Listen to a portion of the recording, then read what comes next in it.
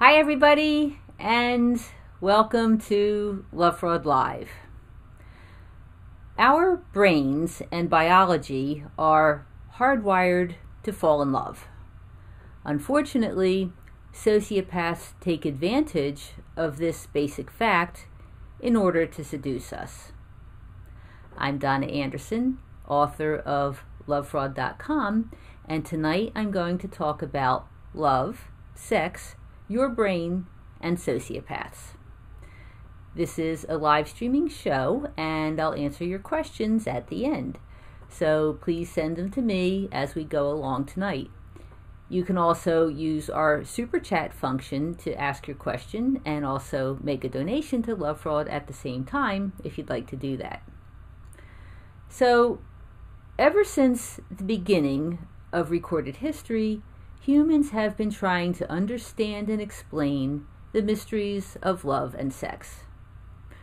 Over the past few decades, scientists started using specialized equipment to measure physical arousal by attaching devices to private parts.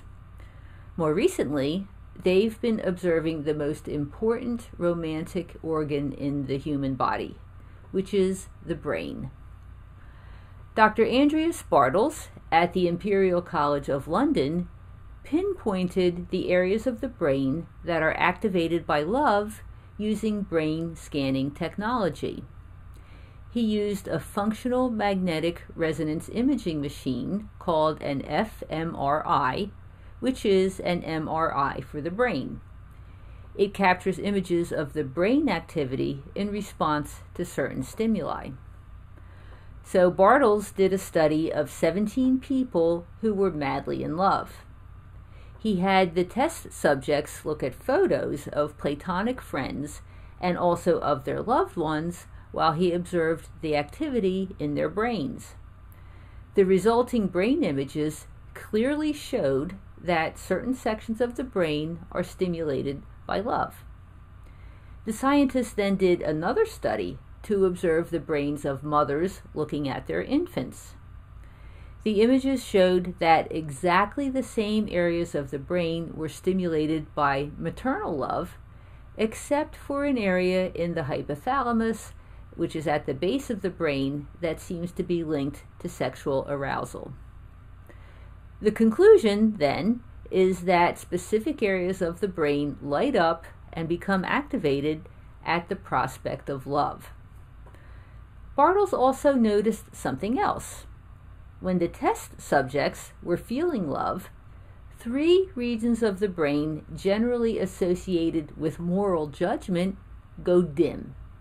In other words, when people are in love, certain areas of the brain shut down.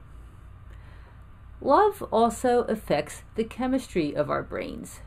Dr. Helen Fisher, who is a professor at Rutgers University, had written that three networks in the brain are associated with love. And these are the lust network. This is the craving for sexual gratification, which is linked to testosterone in both men and women. Then there's the romantic attraction network. This is the elation and yearning of new love, which is linked to the natural stimulants of dopamine and norepinephrine and low activity in serotonin. And finally, the attachment network. This is the calm emotional union with a long term partner, which is linked to oxytocin and vasopressin. Dr. Fisher also did a study using fMRI technology. She scanned the brains of 40 men and women who were wildly in love. When these people gazed at photos of their beloveds, the scans showed increased activity in the areas of the brain that produce dopamine. Now, dopamine is a neurochemical that is associated with feelings of excessive energy, elation, focused attention, and motivation to win rewards. Dopamine, by the way, is also the neurotransmitter that is associated with addiction. In fact, cocaine works by increasing the amount of dopamine in the brain, which creates feelings of euphoria. Finally, research has also proven what we've probably all experienced that sexual arousal can make us throw caution to the winds. In yet another study using fMRI technology, Dr. Ken Maravilla of the University of Washington found out that sexual arousal dims down the parts of the brain that control inhibition and moral judgment. Additional researchers at the Massachusetts Institute of Technology and Carnegie, Carnegie Mellon documented that being sexually turned on affects the judgment of college aged men. Huh, well, that's a surprise. Specifically, the researchers found that sexual arousal seems to decrease the importance of other considerations, such as behaving ethically towards a partner or protecting yourself against unwanted pregnancy or disease. But the researchers also found that people seem to have only a limited insight into the impact of sexual arousal on their own judgment and behavior. In other words, most of us don't appreciate how strong the sex urges are and how they can make us do things that perhaps we shouldn't be doing. So, let's look at all this information in the context of our relationships with sociopaths. Two of the main strategies that sociopaths use to snare us are love and sex. They emphatically proclaim their love and consciously seduce us into having sex. So, what happens? Well, first, love causes specific areas of the brain to turn on, and at the same time, areas associated with morals and judgment go dim. Second, the areas of the brain that produce dopamine become active, and dopamine is related to euphoria and addiction. Third, sexual arousal dims the parts of the brain responsible for inhibition and judgment that might prevent us from making bad choices. And fourth, we do not recognize the impact that sexual urges have on our judgment and behavior. Sociopaths convincingly proclaim their enduring love and their sexual desire for us. We don't know that they're lying, so we believe that they really love us. We have sex with them, and the sex is great. Many love fraud readers have been amazed at the sociopath's sexual appetites and their prowess. Therefore, sociopaths hijack our brain through our feelings of love and the bonds of sex. In their seductions, they turn the natural psychological and chemical functions of our brains against us. That's the presentation for tonight. And next, I'll answer your questions. And as I mentioned earlier, we implemented Super Chat on this YouTube show, which offers you an opportunity to contribute towards Love Fraud's uh, functions. And believe me, there's a lot of expenses associated with this. So I really appreciate all the donations that we've received so far, especially from William, who donated tonight. So if you'd like to support us, all you have to do is click the dollar sign in the chat window and slide the button to the amount that you want. And also, there's a link in the description below the video window where you can make a tax deductible contribution to Love Fraud's education programs if you'd like to do that. So let me take a look, and oh, we got some chat going here. See what the um, see if there's any questions.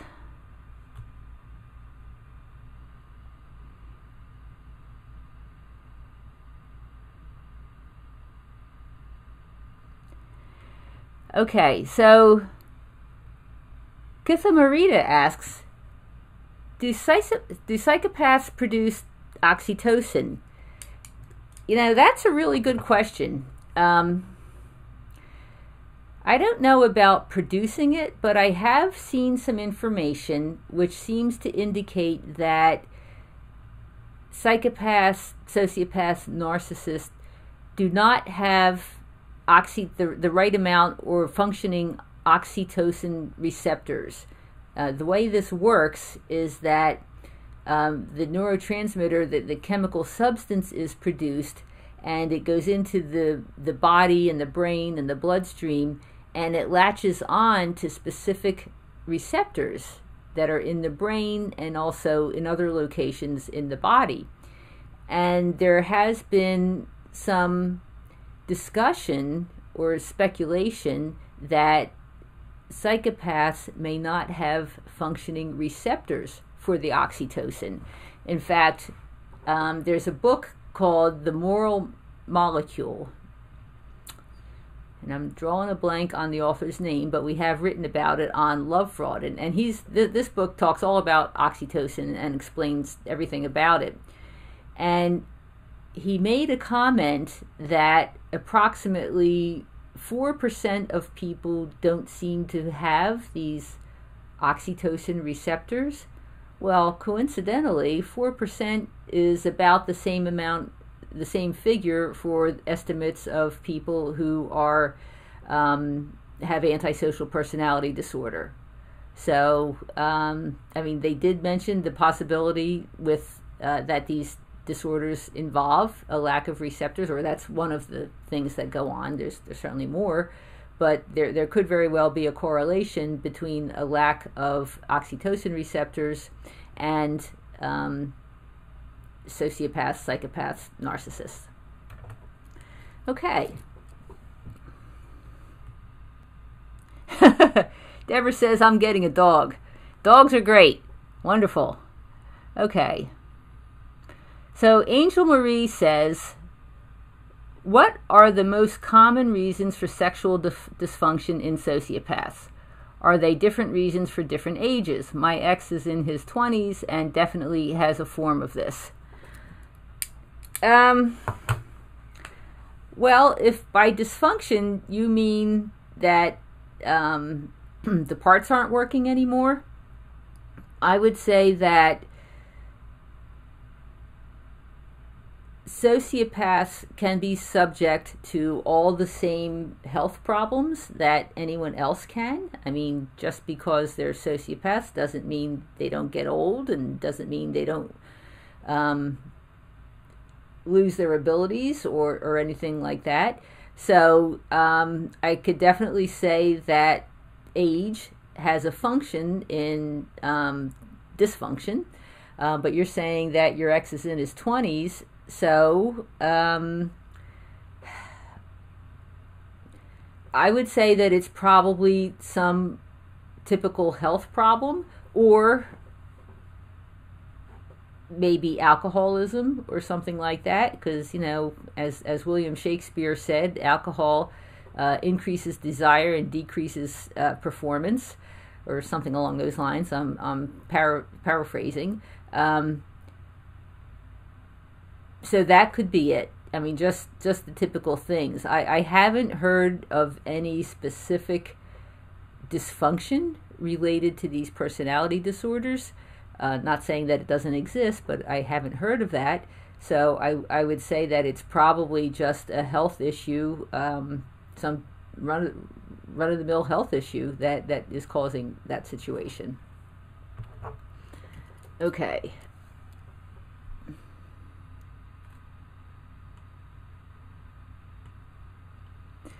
Okay, so Kitha Marita says, Why does it still hurt so much to know my sociopath is telling all the same lies to the new girlfriend?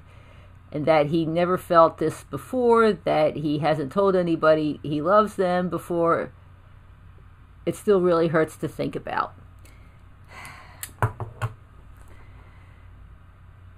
The issue is that you were deceived um, he was lying about his love. Um, sociopaths are incapable of feeling love. I mean that. I mean that's that's the core of the disorder. Is that sociopaths do not have the ability to love, and I can explain that a little bit, um, which I've mentioned on a few other videos. So if you've heard this before, uh, my apologies. But essentially, other researchers, besides the ones that I talked about tonight, have found that there are three components to romantic love. and they are attachment, which means the desire to be with somebody, a special person, sex, which we've been talking about, that's self explanatory. And the third component of romantic love is caregiving. And what that means is that uh, when you love somebody, you want to take care of them. You want what's best for them. You want their health and well being to, to shine. You, you want them to be happy. Well, sociopaths can do attachment. You know, they definitely can latch on to somebody who they consider to be special. They certainly do sex. They do not do caregiving. Sociopaths just don't have the ability to put anybody else's interest before their own. They don't have the ability to really care about somebody else's well being. So, for that reason, they do not have the ability to truly love someone the way the rest of us do. Now, you, of course, didn't know any of this. And when they're saying all these things, you know, how much I love you and we'll be together forever and we'll be living in the lap of luxury, I heard that one. You believe it because this man or person um, partner seems to be showering you with attention and affection and telling you everything you want to hear and putting you up on a pedestal and that that makes you feel really good and it makes you bond and it starts to create this psychological bond.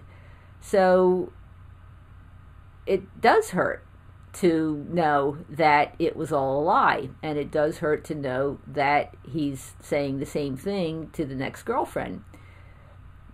Um, I would mention that the next girlfriend is sooner or later going to be in the same situation that you're in because he's going to dump her and and tr- betray her and whatever he did to you he's going to do to the next one so actually you might want to reframe how you feel about her into feeling sorry for her because she's going to experience everything that you've experienced sooner or later. I mean, it, it's just the way it is. These people do not have the ability to love authentically. And that's one of the reasons why it's so easy for them to, like, dump one person and move on to the next because there was never any true connection to the first person to begin with. You know, it, it's all just a charade. It's it's all just an act. Um, it's a very painful lesson, but the good news is that you have the ability to love, unlike this person, your former partner, who is never going to be able to do that. And even though it hurts, I think we would all rather be us than them.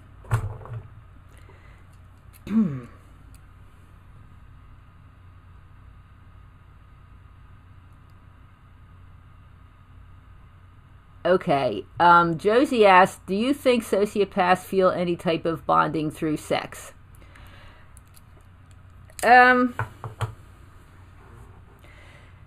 sociopaths don't really bond, so I don't think that it's happening through sex either. And essentially, they view sex as um, physical gratification. They like the stimulation. Uh, they know that if you can have sex with somebody, it makes them easier to control. Um, they use sex as one of their tools in the toolbox, literally. Um, in fact, you know, one of the things to understand about sociopaths is that the sex drive is not out of control. Uh, even though they can have a lot of testosterone, um, which makes people want to mate. Um, their prime motivation is power and control. And so they are quite capable of withholding sex um, if it is allows them to exert power and control over somebody. So, you know, do they bond? I doubt it. I, I really doubt it.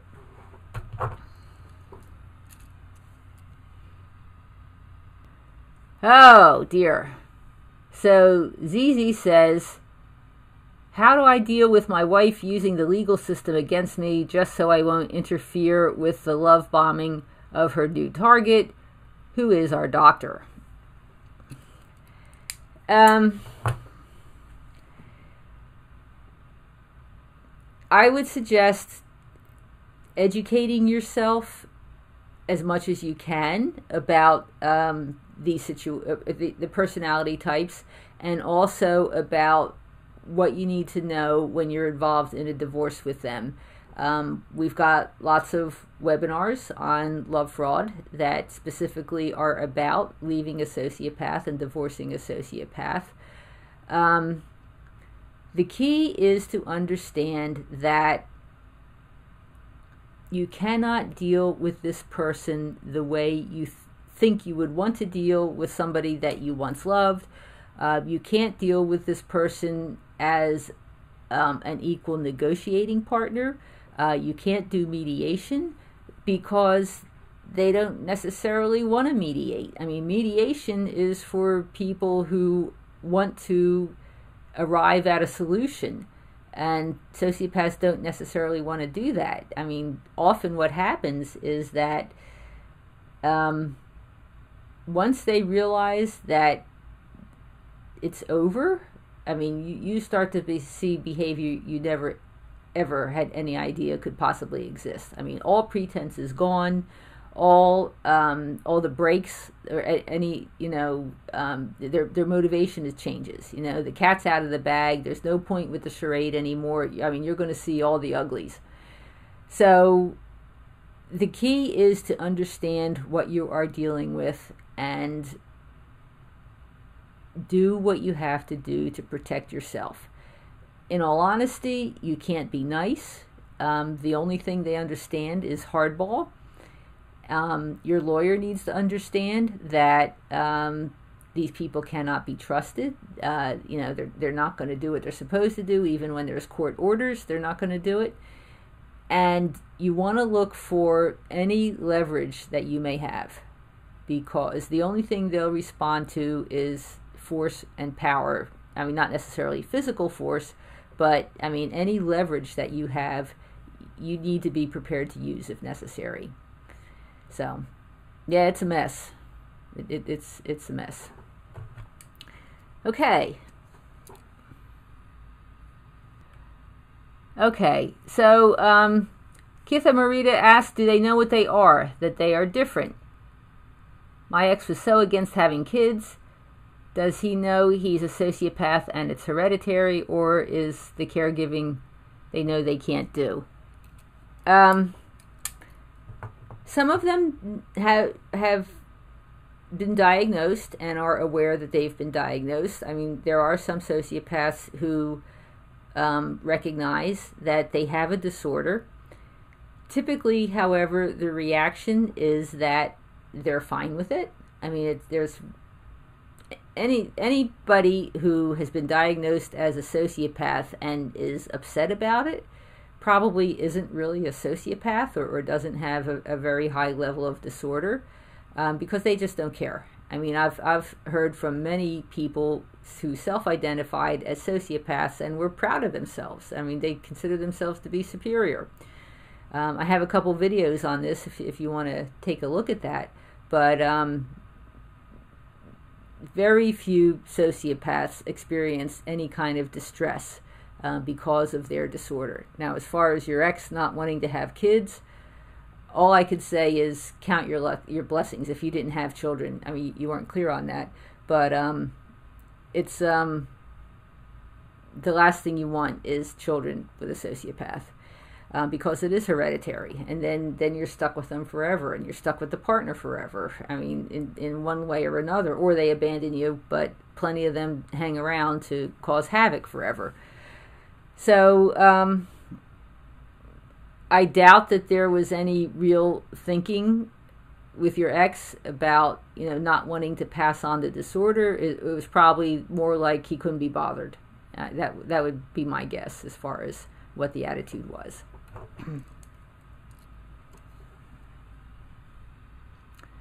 okay, so the more I understand, Mystique says, the more I understand, the more scared I get.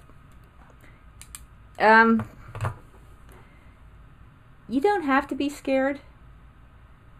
Once you understand that sociopaths are out there and how, if you know what the warning signs are, and you learn to trust your instincts, you'll be able to avoid them or get them out of your life fairly quickly. So, education is the key. Education and will give you the understanding of what you're dealing with when you start to see the signs. And then the other thing is to pay attention to your intuition because your intuition is there to warn you. Um, it's baked into our DNA to protect us from predators, and sociopaths are certainly predators. So um, y- you can protect yourself, and you know, educate yourself, learn to trust your gut instincts, and and you'll be fine. I mean, you may you may you, you probably will run across some at some point because there's just so many of them in the world. But if your instincts are functioning, you'll be able to get out of a situation be- before it gets out of hand. Okay, so that appears to be what we have as far as questions for tonight. I thank everybody for joining us, and I'll talk to you again. All right, bye bye now, everybody.